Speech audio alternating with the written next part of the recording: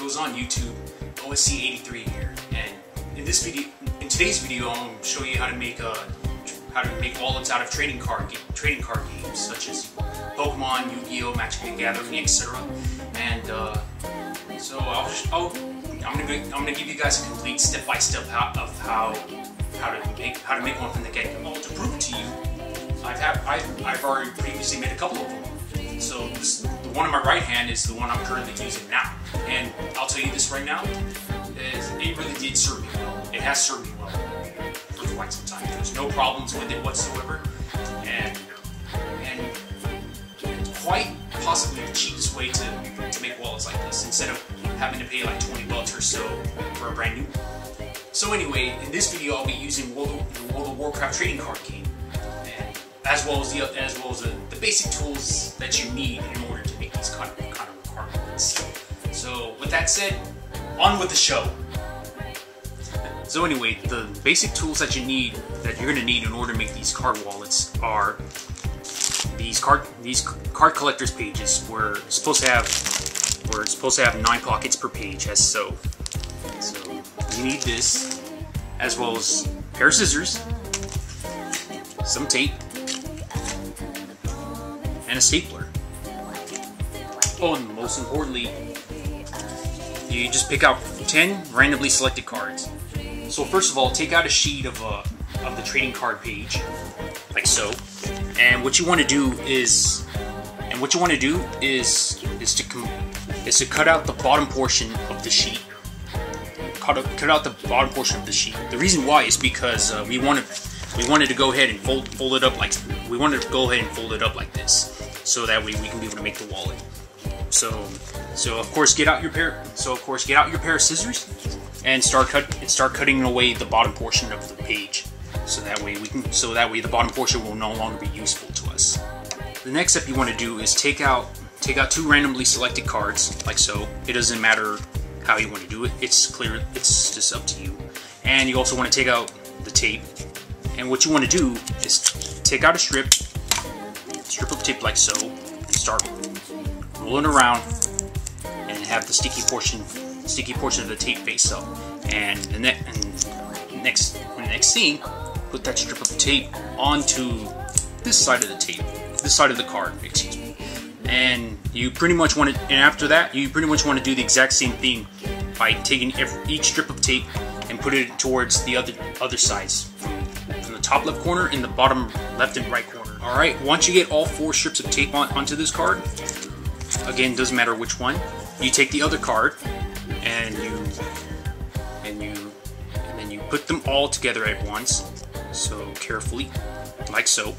And then once you get get them in place, then press on press on both both of the cards as this, the strips of tape will be able to stick together. So once you do that with these two cards with the strips of tape, then go ahead and repeat the same process with the other the other eight eight randomly selected cards. Alright, now now that we have our 10 cards taped up and ready to go, now we can start making the wallet. Now, what the first thing you want to do is take take these three cards and grab your newly cut six-page uh, trading card sheet, and you want to take the three cards, turn them upside down, and put them in, put them inside each page, like so. Now with this done, now we, take the other two cards and we can put them right side up on the very top.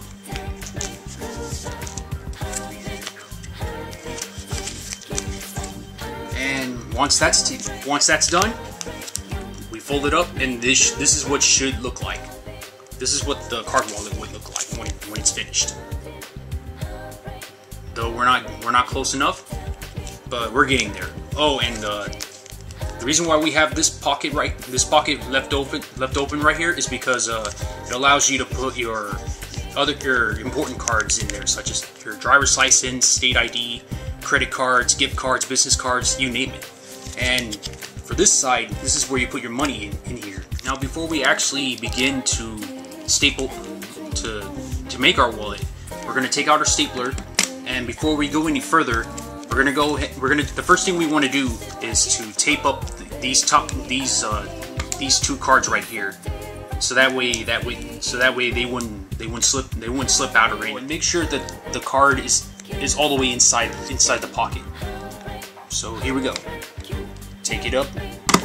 Once you be able to take care of that, do the exact same thing with the other card, and we can move on to the stapling, pro stapling process of the wallet. Now, what we want to do is uh, take take up this side of the this side of the wallet, and we want to make sure to push the cards all the way towards the right because the reason reason for that is because we want to staple we want to do three staples of this side right here like so.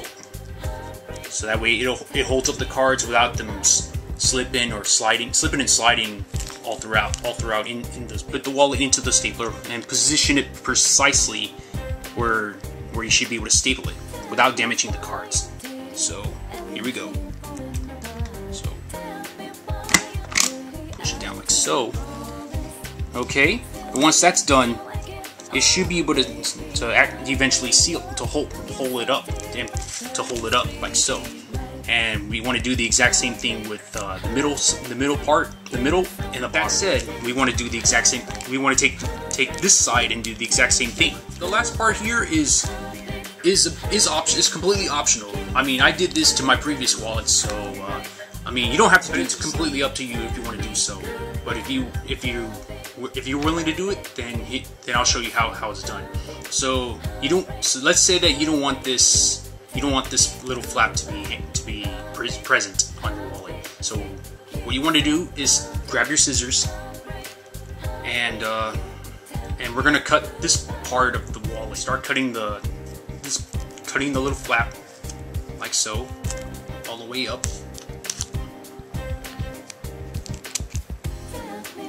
it should look like this. Now that the wallet is uh, completely finished, now what you want to do is, uh, if you want it to be to be permanently bent, just grab yourself grab yourself a stack of stack of textbooks or books or whatever the case may be. Stack all stack all kinds of books on top of this and leave them leave them around leave them like that overnight. And once that's done, then it should be able to completely fold like this instead of uh, instead of flapping like this instead of like popping out like like so. So yeah, here's your wallet. So anyway, guys, uh, if you get, if you like this video as well as you checked out my previous videos on my on my YouTube channel, on my YouTube channel, um, it would be better. Then you can go ahead and rate, comment, and subscribe to my channel if you like. And, but it would be most appreciated if you do so. So I'll even I'll even leave an annotation for on on this video right here on your screen, like so and it should appear right about now. It should be pointing, it should be there where, where my finger's pointing. So anyway, with that said, um, I think that about wraps up this video. So thanks for watching guys. Take it easy. Peace out. And take care.